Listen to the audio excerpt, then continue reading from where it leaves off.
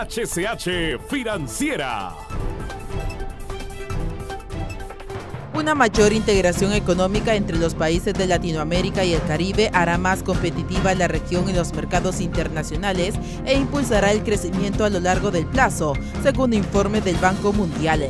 El nuevo estudio explica que para apuntar hacia una renovación de la integración económica en Latinoamérica es importante apostar a una renovada estrategia de integración que aproveche la complementariedad entre la integración económica a nivel global y regional para lograr un crecimiento con estabilidad.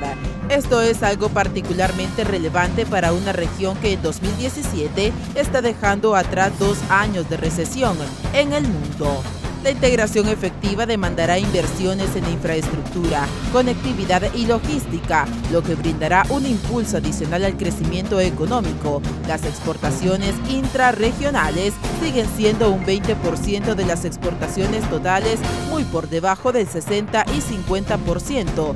Las exportaciones intrarregionales siguen siendo un 20% de las exportaciones totales, muy por debajo del 60 y 50% de las exportaciones intrarregionales representan para la Unión Europea y Asia Oriental Pacífico, respectivamente. El informe propone un regionalismo abierto que aunque saque partido de las sinergias desaprovechadas entre la integración económica a nivel regional y mundial. HCH Financiera